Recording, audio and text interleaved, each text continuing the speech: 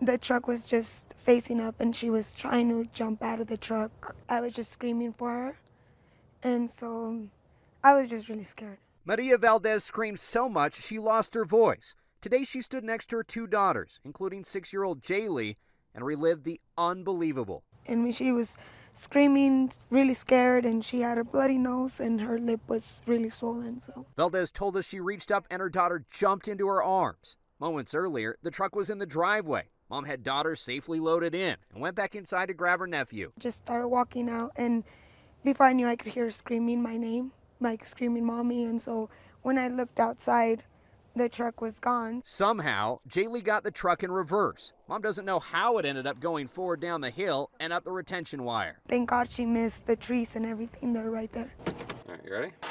We found out for ourselves just how fast a car could go down the hill. No stepping on the gas, and we quickly hit 23 miles an hour by the time we reached the pole. The vehicle struck another vehicle, a building, or even the telephone pole rather than the retention wire, there would have been injuries. Despite a recovery operation that involved two tow trucks to get the truck down, it's drivable. Mom says little Jaylee is just a little rattled. All in all, a fortunate end to an unexpected first lesson in driver's ed. I would always just tell her, "Don't ever touch that. Don't ever do it." But I guess it just in a blink of an eye, lesson learned never to do that again.